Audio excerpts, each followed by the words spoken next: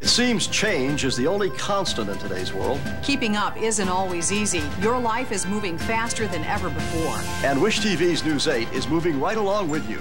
They're first with the best. Delivering the news you need to know in an instant.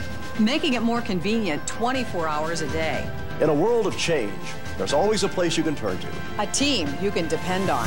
Wish TV's News 8 with Mike Ahern and Debby Knox. It's news at the speed of life.